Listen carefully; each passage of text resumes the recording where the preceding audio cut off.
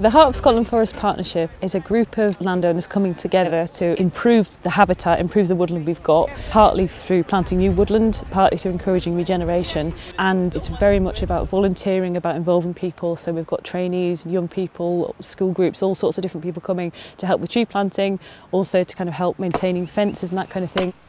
I guess I would sum up this project as being um, inspiring and motivating and exciting. This partnership has made the potential approach there so much easier. It makes it a much more viable unit for deer management. And that has benefits not just to us, but also to the region as a whole. So in terms of area, we've got Forest Enterprise, we've got Kynachan up at the sort of northwest, we've got East Schiehallion further south from them, and then across here to Dun Coillich on the east, and then working down the valley towards Keltney Burn where the Wildlife Trust have their reserve. It's really kind of bringing together what we've got and looking at how we can work together to make something that altogether is a bigger thing than we could do on our own.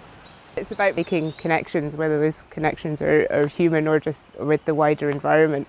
There's really a wealth of wildlife in the Heart of Scotland Forest Partnership area already, which makes it kind of exciting because we know we're expanding on something that's really interesting. It's all about creating a large woodland on a landscape scale um, with corridors connecting to other habitats, which is really important. Our whole remit, if you like, is a champion of, of native woodland and their sustainable creation. So even though we don't have a, a physical stake in, in, in, the project, it's prudent of us to, to become involved in things like this. It's a great project that's brought lots of people together, has already brought really good benefits and has the potential to make a real big change in the landscape. What's important for me is, is to be a responsible land manager.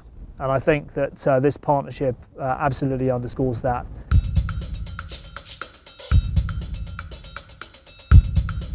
It's exciting to think how these trees might look in five years, 10 years, and you know, to think in 20 years time we can come back and it will feel like a forest then.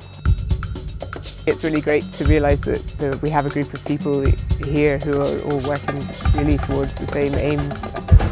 Helping wildlife. Attracting visitors. Bringing people together. Creating opportunities. Growing trees. We're working together for the heart of Scotland.